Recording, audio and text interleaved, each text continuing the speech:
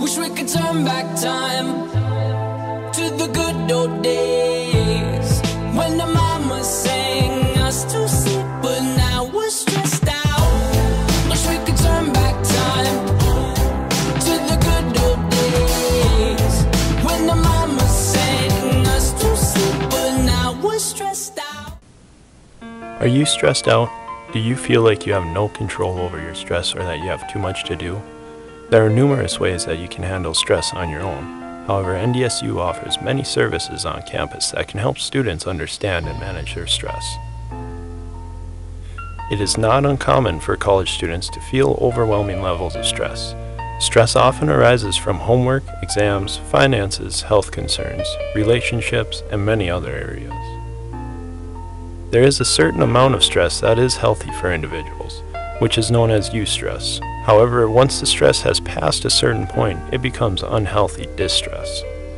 Distress can have negative effects on every system of the body. The nervous system stimulates the fight or flight response. A person can experience rapid breathing, elevated heart rate and blood pressure, and a lowered immune response. Distress can also cause individuals to overeat or not eat enough.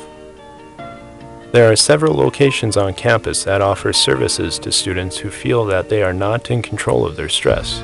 Some of these sources are the Counseling Center in Ceres Hall, room 212, which offers individual and group counseling, which is free to all students, group classes and workshops, which focus on mental health, Therapy dogs are available during the midterms and finals. The Student Health Services at the Wallman Wellness Center offers an on-site health clinic as well as an on-site pharmacy and reduced costs for college students. There are a few other areas on campus where students can focus on the stressors that are present in their lives and eliminate them. Some of these services include the NDSU Library, which offers a quiet atmosphere as well as quiet rooms for studying in groups. There are also computer clusters located in the basement and on the main level for working on homework and studying for exams. ACE Tutoring in the basement of the library offers free tutoring available to all students.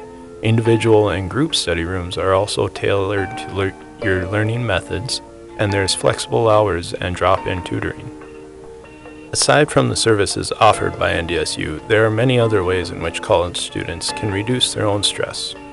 Some of these methods include taking time for yourself to do what you love, reward yourself after a challenging week or exam, exercising on a regular basis, which could include yoga or meditation, maintaining enough sleep, maintaining a healthy diet, Attending class, it will save you a lot of headaches down the road.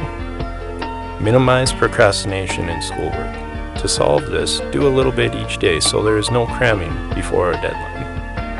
Reduce your caffeine intake and find natural ways to energize yourself.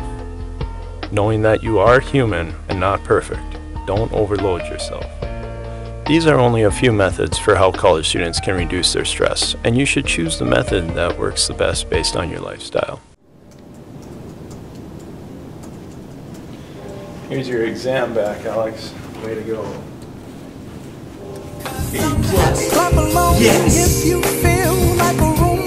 Stress is a common occurrence in college students and can become dangerous if not managed properly.